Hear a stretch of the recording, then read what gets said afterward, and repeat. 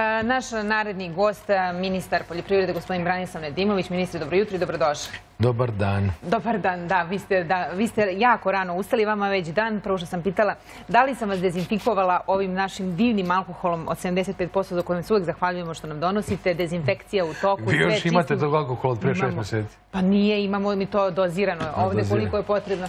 Ali e, vodimo računa, korona nije nestala kao što smo se ponadali u nekom trenutku. E, vi ste u prvom mahu, evo kreto su sa tom temom, ali hajde malo ćemo proći kroz e, sve dnevno aktualne teme. U prvom mahu ste bili tamo gdje je bilo najteže i pratili ste situaciju, učinili ste sve što ste mogli i zato imamo danas ovaj alkohol da možemo se dezinfikujemo i da može školska godina dobro da prođe, da pre nego da roditelji pošalju decu u školu, prvo dezinfekcija. Meni to deluje kao davno prošlo vreme, kao da je bilo pre pet godina, ne kao da je bilo pre četiri, pet mjeseci, ali to je samo dokaz koliko smo mi u stvari navikli na sve ovo i koliko čita priča oko korone je postala deo nas. Vidjet ćemo kako će te stvari da idu, sad brojevi izgledaju dobro, nema potrebe za nekim značajnijim intervencijama kao što je to bilo u Nišu, kao što je to bilo u Pazaru. Mislim da smo svi mi naučili mnogo toga. Počeli smo da dezinfikujemo sve. nažalost, ponekad na teži način to naučimo. Počeli smo da nosimo maske, počeli smo da držimo distancu. Ja gdje god se okrenem, vidim da ljudi to poštuju. Mislim da ćemo sad imati verovatno mali problem za jedno 15-20 dana kada počnu ljudi da se vraćaju s godišnji, kada počne škola, kada možda počnu da se otvaraju neke stvari, ili vidim najave od epidemiologa da možda ćemo neke stvari imati ponovo poput pozorišta. Poput... Evo kažu većinu mera ukidamo za mjesec dana, ali vrlo postepeno što je jako važno. Prvo ćemo da vratimo kulturu. Pa šta god da bude, bilo potpuno nebitno, bila kultura, bilo sport, bilo utakmica ili ovo ili ono, ali mora se živi, ne može bez toga, ali to će se ovom naravno vući određenu povećanu disciplinu. Predugo ovo sve traje. Ovo sve stvarno je potpuno izobličilo čitavu normalne, neke normalne tokove, ali šta raditi? Ali smo, uh, danas već govorimo o nekim momentima kako smo nešto uradili, da li smo mogli drugačije. Već imamo neku, uh, neku distancu pa kažemo, e dobro, sad znamo šta bismo uradili u nekoj novoj situaciji, okolnosti. Situacije koje se dešavaju u svetu nameću, naravno, pitanje uh, u svemu gledamo, a gdje je Srbija u tome i kako je se Srbija pokazala, što je i normalno. Kada se desila ova velika eksplozija u Beirutu i kada se govorilo o tome da najave e, vrlo velike većine e, ljudi koji će biti gladni, da neće biti e, transporta hrane. Odmah smo se i mi zapitali, setili smo se onih slika i fotografija s početka vanrednog stanja, slike iz Hollywooda, kako su prazni rafovi. Rekli, pa dobro, mi smo evo u ovom trenutku, mi to nismo osjetili na svojoj koži, mi ne znamo kako to sada zapravo izgledalo. Isto kao kada je korona bila u Kini pa nam je delovala tako daleko, a onda kada je došla kod nas vidjeli smo zapravo kako to izgleda izgleda. Kada govorimo o budućnosti našoj i nekim posljedicama koje će ostaviti u ekonomskom smislu i korona, da li mi ima potrebe da se brinemo e, za svoju poljoprivredu, za svoje snabdevanje hranom, za naše pune rafove i pune stomake? Pa da, pođemo od ovog poslednjeg, od punih stomaka. Što se tiče hrane, mi apsolutno nemamo razloga da se brinemo za bilo što, možemo biti potpuno spokojni. Mi smo jedna od redkih zemalja koja s aspekta hrane je manje više samodovoljno. Odnosno imamo mnogo više robe koje možemo da izvezemo. Naravno, nemamo mi sad nekih voćarskih kultura i povrtarskih koji ne uspevaju kod nas, pa sad ne možemo kažemo imamo baš sve živo što god nam padne. Banane, limun i te ostala čudesa. Ali ono što je za osnovne stvari najneophodnije, apsolutno imamo u dovoljnim količinama i toga. I ne treba bude nikakav bojazan. I što se tiče prehrambene industrije, tu je stvar sasvim pristojno upakovana. Sad, da li neko može da insistira na kokosovom mleku ili ne znam nečem drugom. Ja stvarno ne mogu da ulazim u taj deo priče, ali ono što je tradicionalna kuhinja, konvencionalna, iskrena, tu nema nikakvih problema. Ali mi je jedna stvar koju ste pomenuli na početku, gde se setiste Beruta? Pretpostavljam zbog ovog džubriva koje je potencijalno bilo izvor ovaj, eksplozije koja se desila. Ja mogu samo da obavestim sve vaše gledalce da smo mi kontinuirano vršimo nadzor a sproveli smo sad jedan dubinski varedni inspekcijski nadzor nad svim eventualnim mhm. objektima koji mogu da imaju u sebi potencijalni izvor opasnosti. To su stvari koje se koriste stalno u poljoprivredi za obogaćivanje zemljišta. Uradili smo to ništa specijalno, u pogledu nadzora nismo identifikovali da postoje neki veliki problemi, što znači da naši ljudi vode računa o svemu tome i mislim da treba da budu svi spokojni. To što se desilo tamo, na osnovu zvaničnih izveštaja koji postoje, to je posljedica nepažnje i nebrige, ali znate kako, u zemljama kao što je Liban, kogod je tamo bio, tamo dosta se kuburi sa institucijama, dosta se kuburi sa nekom stabilnošću i onda je to, ne mogu reći logična posljedica svega što se tamo dešava, ali višegodišnji nemar prouzrokuje takvu jednu akcidentnu situaciju, ali ovdje građani Srbije mogu biti potpuno spokojni što se tiče hrane, što se tiče ovih drugih a, elemenata. Evo, na primjer, mi ćemo imati verovatno, aj sad napolju je kiša, a za jedno 15-20 dana kad krene žetva, branje kukuruza, mi ćemo imati rekordne, rekordnu godinu. Pšenica isto tako, suncokret isto tako. Sve one glavne kulture koje u Srbiji u biljnoj proizvodnji nose i najveći deo proizvodnje imaće ove godine rekordne oblike i to je jako važno a, za nas kao državu u pogledu stabilnosti. A moram da vas pitam I samo... psihološke stabilnosti. Psiholo... Pa nekad je to uh, i ne- mnogo važnija stvar, ta neki strah i ta neka... Mogu ja vas nešto pitati? Slobodno. Kad je krenulo s koronom, šta ste prvo pomislili? Osim straha za svoju decu i sve to. Pa one moje konzerve, nabavka hrane, na to mislite? na Da, pa jeste, naravno. A to je valjda, to su vam oni egzistencijalni motivi u pripovetkama Laze Lazarevića. A valjda, valjda tome- nam je to i negde u krvi, valjda nas zbog neke naše prošlosti koje, ne, biološki, koje mi mlađi Doduše, kod nas je pamtimo. to, kod nas je to manje, manji pritisak nego Pirinač, neke druge, nego neke druge. Da. Jer mi smo to svašta prošli već sto puta. I to je tačno. Nažalost. E, nažalost, ali u nekim trenucima to zna, samo da nas kažu što nas ne ubije, to nas ojača. I zaista jeste tako. A, htjela sam samo da pitam, e, kako je zapravo korona loše utiča, uticala na, a, na vaš sektor, na poljoprivredu? E, Videli smo u prethodnih nekoliko nedelja, e, nije bilo manjka proizvoda, niti, e, ali je bilo e, manjka potrebe za tim stvarima. Videli smo neke prosute paradajze, videli smo neke, neke njive koje, videli smo borovnice, ne znam da li ste videli prilog, kažu evo dođite za 100 dinara, uberite po kilogramu, nema ko da bere. Da li je to, šta je najviše uticalo i šta je najveći bio problem koji je korona donela a, u To ovom nema, trenutku? u najvećoj meri to nema veze nikakve s koronom. Ajde sad se osvrnemo na taj paradajz koji je bio problem tri dana sa cenom na jugu Srbije. U zadnjih 20 dana je li neko spomenuo paradajz? Pa nije. Skočila cena četiri puta, pet puta. skoro. Zato što su se otvorila turistička područja Crne Gore, Hrvatske, Grčke i pojavila vam se platforma na koju možete da izvozite. To je ono što je dobro za nas. Trgovina nesmetano teče. Što se tiče borovnice, to je pretpostavljam bilo kada je već cena pala. Jer, znate kako? Ljudi moraju da znaju, nije borovnica sve vreme cena 6-7 eura po kilogramu. Nek to je tamo negde 25. maja do jedno 20. 25. juna, kad je nema nigde. I onda je srpska dođe. najplaćen, najplaćenija. Kad dođete već u juli, to svi znaju. Ali, mislim, znaju oni koji se bave time. Nisu dužni svi ljudi u Srbiji da znaju kad se bere borovnica. Ali kad vam ona padne na 3 eura, onda tu nema matematika, pa onda kaže dođi pa uberi da nemam troškove radnika. Tako, Tako da ne predstave se stvari do kraja, baš uvijek, nego onako samo iz ugla za koliko ti odgovara. Tako je stvari sa nekim drugim kulturama. Kaže, sjećam se neke priče od pre par godina, cena jabuke kaže 4-5 dinara. Ali niko nije rekao da je to industrijska jabuka, ona takozvana padalica koju ovaj, ne može da prođe u prvoj klasi i koja može samo da ide za industriju. I onda kada bude velika količina te jabuke, a to je uglavnom na kraju kad se sve, svi procesi završavaju, šta onda da pričam? A što neko ne kaže kad je cena jabuke evo, ovih, zadnjih godinu dana astronomske cifre ima. To najčešće se služi samo da se Pa žali. Neću da vam tražim pomoć ako je sve u Pa redu. naravno, ono što je, smo mi imali problem realan sa koronom, to je onih tri nedelje kad su nam bile zatvorene zelene pijace s ranim povrćem.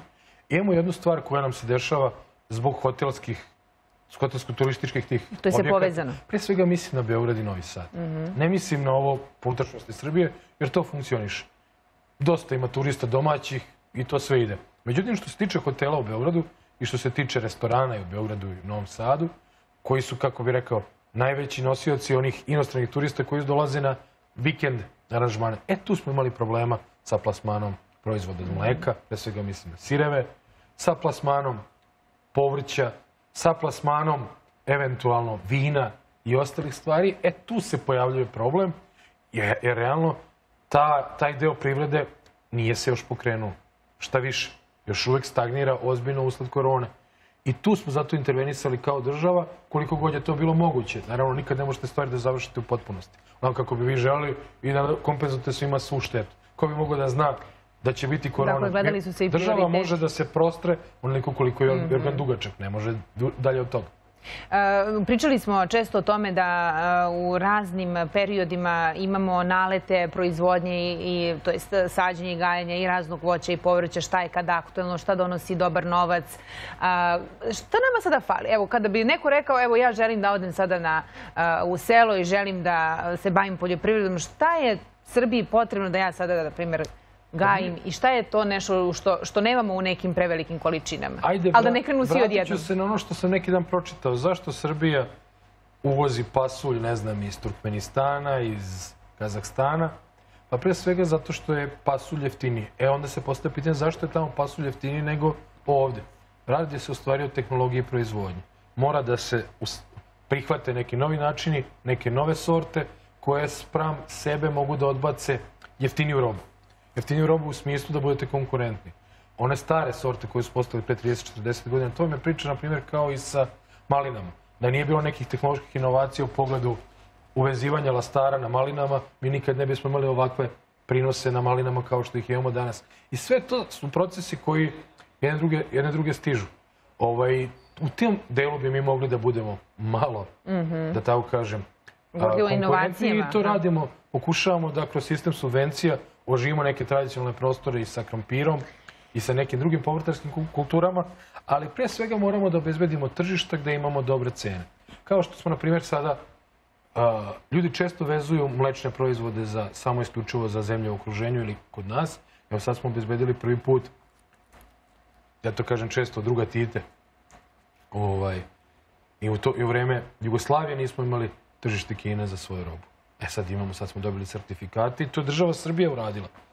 Dve godine smo mi, ne mogu reći, samo pregovarali, usaglaš, usaglašavali bez zdravstvene neke sertifikate, jer što se tiče hrane, ljudi često misle da je to kao čaša, da je to kao, ne znam, vaša ova kamera ispred nas. Pa možda je prodaš kako hoćeš, ne treba ti ništa posebno. Kad je hrana u pitanju, vi morate sa zemljom koja je, da tako kažem, kupac robe, morate da ugovorite neke zdravstvene standarde ispod kojih oni neće da idu, da biste mogli svoju robu da prodate. Primjera radi, mi još uvek ne možemo, na primjer, da izvozimo svinjsko meso u Ameriku. Iz jednog prostog razloga zato što tamo trihinoza, bolest koja se javlja ovde, oni to ne prepoznaju. Odnosno, oni ne prepoznaju vakcinaciju. Ima još tako par stvari koje su karakteristične. To je već neka i birokratija i obrnuto. papiri i sve, da. I obrnuto. Postoje neke bolesti na njihovim prostorima koje mi uopšte mi- ne prepoznajemo i onda jako teško se možeš prilagoditi tome kako da se odbraniš Mhm. od toga koliko dođe do eventualnog problema. Sve je u redu dok ne dođe do, na primjer, situacije kao što je bilo u Belgiji sa onim farmama koka, odnosno farmama jaja, Tako je, to koje je smo bilo. imali dok se ne pojavi neki problem. I onda često postavljam pitanje, pa šta vi udarate one šifre na jaja? Evo, ja ću se odmah nasmejati. par puta ovde, ali Svaki ne put, mora to da bude. Od kad smo razgovarali, danas, e, ako se ne varam, ne može u prodavnici da se kupi jaje koje nema Pa pečat. može za srpsko tržište, na- ali ako hoćete da izvezete, ako hoćete da imate, da se razvijate, postoji standard, može po tim uslovima, Mhm. to je tako. Mora da se zna, u toj šifri je sadržano kompletno poreklo ovaj, te vrste robe. S koje je farme, ko, kog dana, šta je, maltene šta je jelo. Tu dobijate kompletno onaj sledljivost. Živeli. A, Kompletnu sledljivost. I sve, sve se zna i to je provera i to je ono, ona sigurnost o kojoj smo pričali da ne može baš sve da se kupi, da a, to su oni licenci. Tu je puno i papirologije, zaista i to je negde... A da li vi znate, na primjer, sad kad odete u bilo koji market, ja znam, jednom ste rekli, vi više volite da odete u mesnicu, da kupite meso od, Jeste. ono, od ceku, od, od buta ili tako nešto, ali vi, na primjer, u marketima, bilo koji da su, veliki, Mhm. mali, vi kad vi imate deklaraciju, sad se kompletno vidi sve. Vi možete da saznate s koje farme je taj kilogram ili pola kilograma mesa koje ste kupili, s kojeg je došlo. Ali samo mora neko da čita ako hoće. Ne mogu ja da nekog nateram da čita, ali to obaveštenje postoji. I to smo us- usvojili, odnosno uveli od pre par, pa ja mislim možda prošle ili pretprošle godine. Kompletno sad imamo taj, tu vrstu bezbednosti. Nema, nema dileme. Ali moram da vas pitam, evo koga ću ako neću vas, ovo, e, kada kažu hoćemo domaće jaje, da koke koje su trčale pa, pa i nisu jele onu koncentriranu hranu, nego su jele tavčicu. Gde ta jaja da kupimo? Ta jaja imaju pečat. Ima sve. I to ima pečat. Pa ima, ako hoćete u Zato market što kada da uđe- vidimo pečat, onda mislimo, a ovo je fabrika. Ako ulazite u market, ima. Ako hoćete na pijaci, ono što bi rekli sa gazdinstvom, e tu možete to Tu da može. kupite i one nemaju, mala gazdinstva nemaju obavezu Tako je, da, da, da. te vrste E, uniformisanja. Malo pre ste pomenuli e, subvencije. E, Toliko smo o tome govorili, o pomoći i države subvencijama koje su u raznim sektorima, u raznim i za a, stočarstvo, i za a, i traktori razni. Sve ono što smo... E sada, zbog ove situacije koronavirusa, znamo da su mnogi budžeti raspodeljeni, da novca neće možda biti za sve podjednako koliko je planirano a, pre nego da se dogodila situacija sa koronavirusom. A, Da li ima u vidu subvencije za poljoprivredu, da li će ih uopšte i biti? Pa jedan od sektora koji je najmanje imao, da tako kažem, finansijske oskudacije je bila poljoprivreda. Ja sam zahvalan na tome vladi, ovoj kompletnoj, što je podržala i, i, i kako bi rekao, istakla značaj ovog segmenta društvenog života i uh, u nekim delovima malim, da, nismo neke pustili javne pozive, ali ono sve što su bili konkursi, to ćemo realizovati bez ikakvih problema. Pa evo vam kad bih rekao da ove godine toliko traktora subvencionisano. Mi smo imali prvih šest meseci prodaju traktora kakvu smo imali za celu prošlu godinu. Mi smo imali subvencije za ove traktore koji se sklapaju u Srbiji i za ove velike traktore preko IPARD-a. Ide to, ide dobro, ja sam tu prezadovoljan. Mi moramo da uhvatimo korak što se tiče te vrste opreme iz jednog prostog razloga i tih vrsti mašina, iz jednog prostog razloga jer to nosi sa sobom niže troškove proizvodnje, a kad imate niže troškove proizvodnje, onda više profita ostane na samom gazdinstvu. I to je prosto tako. Dobro, I- da li to znači da je i država a, i videla upravo a, prioritet a, poljoprivredu u svim ovim situacijama koje su nas zadesile? Shvatili smo gde ne smemo da štedimo, šta Pa, je osnova? Ja mislim da je to jedna od stvari koje je, mislim, država je povećala budžet ne samo ove godine, nego svih prethodnih godina. Tako je, ali smo se plašili da će doći do neke Ali promene upravo iz razloga... Mhm. ni- nismo imali nikakvih problema, mi isplaćujemo 2020. godinu a, sa zahtjevima koji su iz ove godine. Ako neko eventualno ima neki zaostali zahtjev iz 2019. to samo znači da nije bila ispravna dokumentacija. Mhm. Počistili smo bukvalno sve što smo god imali od tih zaostataka, ali znate kako? Sve ovo utiče i vidjet ćemo kako će se to odraziti i na sljedeću budžetsku godinu. Ja se bojim da korona neće biti samo posljedice 2020. nego u nekim drugim segmentima. Možda, možda ćemo mi imati vakcinu, ali što se tiče finansijskih posljedica i nekih drugih stvari, To će to će, malo to će se vući malo duže. Pa sjetite se i financijska kriza koja je bila 2009. godine, koliko je to sve trajalo. Tako je. E, pre nego da krenemo na čisto političke teme koje moram malo da vas pitam, a zanima me samo da ostanemo još samo kratko im divnim, životnim. Dobili smo tri nagrade. A, ovo za rakiju? Da. Pa da, a, To je da je ovaj jako sektor destilerije naše, koje su, a, jedna je iz Užice, jedna je iz Prijepolje i treća, ne mogu sad tačno da se seti mesta odakle, dobili su na prestižnom festivalu rakije iz preko 60-70 zemalja, dobili su naj, najviše nagrade. Ja čestitam ljudima koji rade na tome. To je valjda stara Sokolova i još dve rakije koje su bile. I mislim da je Ognjen, mislim Ognjenka, tako se zove, ovaj iz Prijepolja.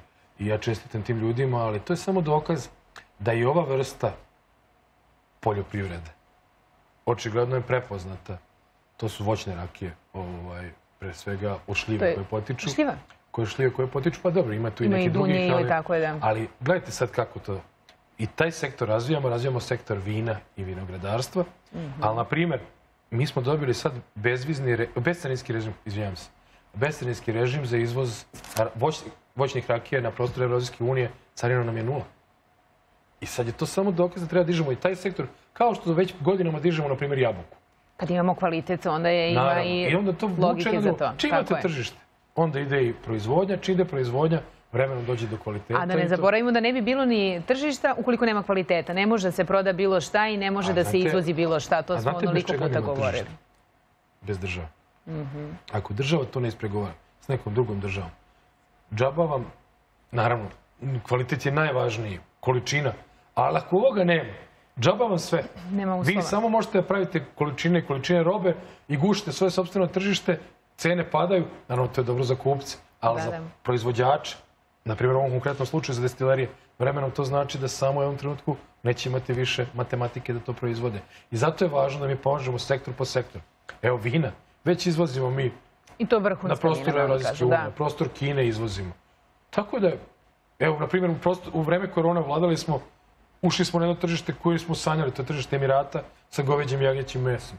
Tako da u svakom zlu ima i nečeg dobro. Uvijek nekom treba hrane. I to, se, I to je ono što smo rekli, prioritet i jeste hrana. Kad god je neka opasnost, prvo pomislimo da li ćemo imati dovoljno da to jedemo. je. Znate, ću imati živu glavu je- pričali i da ću smo, biti nije, neću ja umreti od korone, ali plašim se ću umreti od gladi. Sećate se toga, to je bilo na samom Dobro, početku. bome, što tiče Naravno. korone, ne bi se ja tu baš Ne, ne, e, da, naravno, ovo je bila šala s početka, ali e, hoćemo samo kažem koliko je važno da znamo da e, neće biti prazni rafovi, to je ono nešto što uvek dobijemo Pa potvrdu od vas. evo, premijerka je bila neki dan. I kvasac nastaje se proizvodi, i alkohol Sve nastaje funkcioniše i sve ide. I nim. I alkohola ovog Tako ima je. za dezinfekciju, jer to je jako važan. To je jedan I to ćemo koristiti borbe. zaista u narednom periodu. apsolutno. Ministre, htjela bih da e, prokomentarišete, e, da vidimo i neki e, vaš, vaše mišljenje u iščekivanju formiranja nove vlade. Kome je bitno moje mišljenje? Pa nama. Ajde, Nama. Dobro. E, vi znate da ste na onim kladionicama dobro prolazili, niste želi to da komentarišete, to jest rekli ste da i ne pratite svašta pišu novine i zaista svašta pišu novine. E, čekamo e, formiranje vlade jer upravo je to vlada koja će nastaviti politiku koje ste vi i govorili da ukoliko nema jake i stabilne države nemamo mi da pregovaramo ne samo za poljoprivredu nego za mnogo teža i e, da kažemo pitanja kao što je i pitanje između ostalog i Kosova. Vidimo šta se dešava e, u direktne neke provokacije i napadi. E, vidimo pokušaja otimanja i srpske istorije na razne načine. E, Sve se to dešava u trenutku kada slede 2. septembra važni razgovori u Beloj kući. E, Koje je sada vaše viđenje te stvari? Da li je to sve nešto slučajno ili apsolutno smišljeno sa ciljem? Imamo čak i opoziciju koja poziva u ovom trenutku da se ugledamo na Belorusiju, od Belorusije do Belog grada. Koje je vaše mišljenje? Kakav Belograda, Pa. Marinika Tepić je rekla neodoljivo posjećanje na Rumuniju 89. od diktature do diktature, od Aleksandra do Aleksandra, od Belorusije do Belog grada. Znamo šta se dešava u Belorusiji. Meni za tu gospođu treba Google Translate. Da bi ja to preveo što ona hoće kaže, ja izgleda nisam toliko pametan da to mogu da razumem.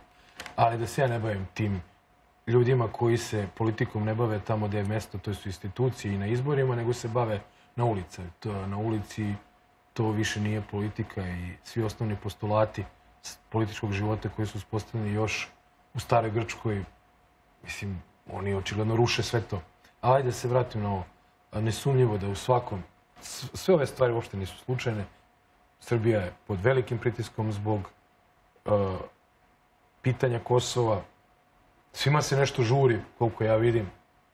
Da li im se žuri zbog izbora u Americi ili zbog ovog ili zbog onoga, ali nesumnjivo je da je to tako i ja uopšte nemam nikakvu dilemu da ćemo mi u danima koji su pred nas svakog, iz dana u dan biti sve izloženiji pritiscima, bez obzira odakle oni dolaze. I nemojte da imate nijednu dilemu, niko od tih zemalja koje su priznale Kosovo neće odustati od tog svog priznanja, bar ne sad. Šta će biti u budućnosti, ja ne znam. Nisam, nisam vrač. Ali naši sastavovi u pogledu toga su diametralno suprotni e, Kosovo je za nas svetinja i tu nema ni jedne dileme oko toga. Što se tiče formiranja same vlade, mi se nalazimo u okviru rokova koji su propisani Ustavom i nemoj, molim, te, sa- molim vas samo da mi drže lekcije. Ja se sećam, bio sam tad poslanik u Skupštini Srbije, pa jedna vlada je formirana dva minuta pre Ustavom uh, predviđenog roka. Mislim da je isticao, ne znam, 30... A dobro, razne su tu spekulacije zašto je to tako, da li je to sada jo, pa to je udaranje za- čežnje, da li je... Pa ne bi, leto je teško bi imali neke I koju teme da temu bi pričamo. imali da nema toga? Nema. Ljudi moji, na konstituisan parlament? Jeste. Je li utvrđeno, uz- urađeno u zakonom roku, utvrđenom roku? Jeste. Će biti nastak sednice parlamenta uskoro? Biće. Vlada imamo do 3. novembra imamo vremena. Puste čoveka koji je Ustav i građani Srbije dali pravo da odre- određuje mandatara da to odradi.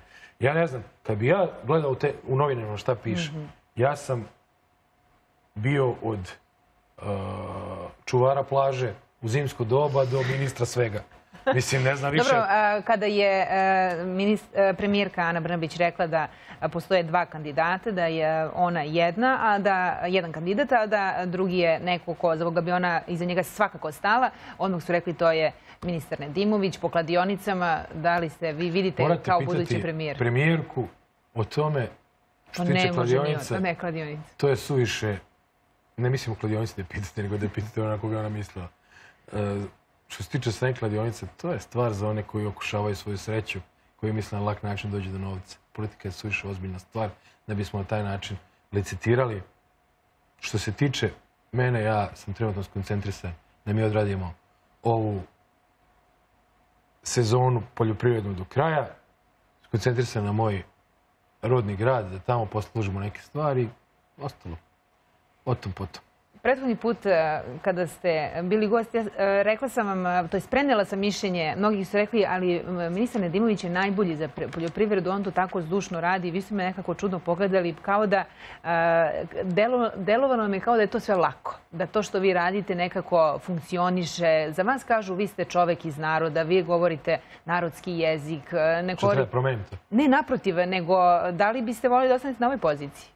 Da li vidite to što stvar ste... Afinitet, pasite ljudi, ja kad sam, kad je mene tada mandatar, Aleksandar Vučić, to, kad, kada sam postao ministar poljoprivrede, kada me je pozvao da preuzmem resor poljoprivrede, ja sam bio u šoku. Mislim, iskreno vam kažem. Jesam ja iz kraja gdje je poljoprivreda dominantna. Jeste da sam upravljao nekim procesima i koji se tiču vodoprivrede i koji se tiču prehrambene industrije, ali to je za mene bio kulturološki šok. I često ova Twitter zajednica, ovih 2-3%, ne znam Glavna politika se tamo vodi. A dobro, možda za vas. Za mene se glavna politika vodi u Čantaviru, vodi se uh, u Beloj zemlji, vodi se ovaj, negde na obroncima Maljena, tamo gde su srpski seljaci. A na Twitteru, ja baš nešto ne, veliko nisam video, što više ne znam ko tamo koga zastupa, jer pola njih imaju neke pseudonime. Pa prepadnem se kad vidim moje Ja, ali slike. moram da vas pitam, evo i vi to kažete. A po njima oni kažu- Da li naši seljaci uopšte znaju za ovu aktualnu situaciju? Znaju da su izbori za Trumpa i Bajdena, ko će biti? Da li to njih Znate uopšte? zašto su njih najvažniji izbori? Mhm. Kakva će biti cena kukuruza, kakav će biti prinos kukuruza, da li će ga biti dosta i da li, pošto je sve ide kako treba što se tiče kukuruza, evo juče sam pričao s jednim seljakom iz, ovaj, iz Laćarka, kaže meni, samo da ne bude neke oluje, da mi ne poruši ove kukuruze, ja cenim da ću imati preko 10 tona po hektar, što nisam imao nikad. Takva ova godina, juče je bila neka, neko nevreme bilo, vidite kako ovo, neko Da, čudno vreme. Ali šta hoću ja da kažem? To zamera se. Zašto sam ja završio pravni fakultet, a ministar poljoprivrede? Ja sad njima da objašnjavam šta je poljoprivredna politika i, šta se, o, o čemu se svodi upravljanje u poljoprivredi, vodoprivredi, šumarstvu. Ja nemam. Koliko ste, koliko naučili za ovo vreme? Koliko je uh, sam promenilo to... va-. A koliko je promenilo najviše vaše mišljenje i viđenje zapravo našeg seljaka, našeg zemljoradnika, našeg stočara? Pa, da, e, koliko ste i... bitno, bit- bitno. Sada kad bi rekao potpuno, malo bi preterao, ali kad vi prođete u godinu dana 383 sela, uđete u svako selo, razgovarate s ljudima, Shvatite prioritet. to onda promenili su se mnogi prioriteti u mojoj glavi iz jednog prostog razloga, jer drugačije se to vidi iz dubine, kako bi rekao, iz srži, nego kad posmatrate to sa strane. Znate kako kaže naša izreka, sit gladnom ne veruje. Tako isto i često sa terazija ne može da se veruje za probleme koje postoje sa Chandler Orasima u Malom Žamu, e, sa suncokretom, ne znam, Tako je. a, negde u okolini ovaj, Zrenina. Šta da vam kažem? Morate da uđete u srži. To je najveći problem, ja se vratim na politiku. Ovih opozicionih, nazovi političara. Oni bre nisu bili nigde. Ne idu među ljude. Ne možeš ti carstvo na- zadobiti na dušeku sve duvan pušeći. Nema od tog ništa. Moraš ući među ljude. A kad uđeš među ljude, nije to samo lake teme.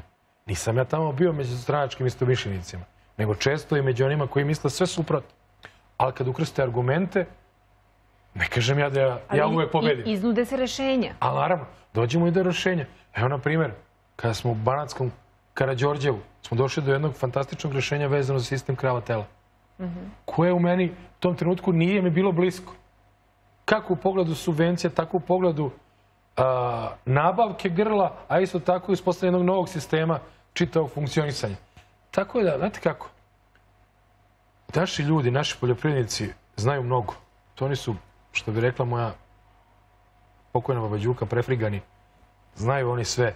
I onda možete tu mnogo da naučite od te logike, ali uvijek će čutati kad je dobra cena, kad je dobar rod. Pa Čim se dva dana nešto krene kako ne treba. Evo, na primjer, neki dan.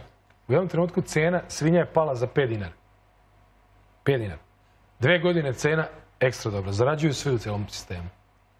Odmah sam video već komentare. Pa ja kažem, ljudi, ne možete vi očekivati dve godine da bude sve okej i onda da E, to nastavi tako, što ne znači da neće biti a, dobra cena. Evo i e, za kraj negde ovako iz vaše vizure i kao ministra poljoprivrede u prethodnom periodu i e, bavili ste se vrlo verovatno nekim stvarima kojim niste ranije, upoznali ste i naš narod u srž zapravo. E, kažu ako želite najbolje da upoznate neki narod idite na pijacu, dakle i kulturu i mentalitet i sve. Da li smo mi negde zapostavili malog čoveka? Znate kako, mi imamo jedan drugu vrstu problema koja nam je posljedica onog perioda socijalizma. Koliko su neke stvari bile dobre, toliko smo imali, na primjer, u poljoprivredi jednu otežavajuću okolnost, to je u pogledu trgovine poljoprivrednim proizvodima. Mi smo imali jedan zatvoren sistem, jednu zatvorenu državu sa velikim carinskim stopama, znači ništa nije moglo da uđe unutra. I onda je roba koja se proizvodila ovde na jedan veštački način bila je podignuta vrednost. Pri tome postojile su zadruge koje su trgovale tom robom. Danas poljoprivrednici najčešće sami moraju da trguju svojom robom i taj duh trgovački, on ne može se naučiti za dva minuta. On se stiče godinom. To je ono sve što je postojalo u Srbiji do 1914. godine i između dva svetska rata. Taj trgovački duh koji je postojao. Nemojte zaboraviti da je jedan od prvih roba, u stvari prva roba s kojom je Srbija trgovala sa Amerikom bila suva šljiva. To znači da je postojala svest o potrebi trgovine poljoprivrednim proizvodima. E sad to mi učimo. Sad učimo te postulate i ne možemo, po meni, naj, najvažnija stvar koja je u poljoprivredi, potpuno je drugačija od filozofije pre 30-40 godina. Ne treba poći od toga šta možeš kvalitetno i u velikoj količini da proizvedeš. Nego potpuno obrnuto. Ja znam će to delovati sad kao jeres. Moraš poći od tržišta. Šta je to što može da se proda? Da li je to tebi tržište dostupno? Da li ono, da li, kakva su očekivanja u vremenu ispred nas? I od toga da uspostavljaš svoju poljoprivrednu proizvodnju. Ako samo baviš se proizvodnjom na njivi i, dost, i hvataš svetske rekorde, a mi u nekim delovima naše poljoprivredne proizvodnje u kukuruzu, u pšenici, dobacujemo do blizu vrha u svetu. Ako nemaš to kome da prodaš, ti ćeš vremenom sebe da ugušiš sa, sa količinom, a samim tim i sa cenom i onda će svi biti nezadovoljni u tom lancu. I na tome moramo mnogo da radimo i moramo da a, pripremimo se za vreme koje ide ispred nas. Mi ćemo imati jedan, jednu, imamo jednu dobru osnovu a, vezano za poljoprivredu, samo treba da prodajemo malo na prehrambenoj industriji i da onu robu koja je druge, treće klase, da to lako usisamo u ceo sistem. Prva klasa se lako proda, svega. Tako je. Tako je to uvek u životu sa svim. Najbolje prolazi. Tako. Ministre, hvala vam najlepše na vremenu. Imate tople morske pozdrave. Milad Marić? Naravno. Gde? Ne znam da li smijem da kažem ja. Nemojte. A ćete, Ajde, pogađa, nećemo a ćete ga- pogađate tri puta. Pa imam jednom da Ne, pogodim, morate, pogodit ću iz prve, ali ajde, nije mi to ni bitno. Neka se on odmori. Neka, Meni- vreme je bilo da Čudno mi jutros nismo imali neke teme sa nekim... Pa nismo, ali nisam, nisam, pomenula ni one virš, a šalim se neću. Hvala najlepše vama. na vremenu. Vidimo se uskoro ponovo. A mi nastavljamo dalje.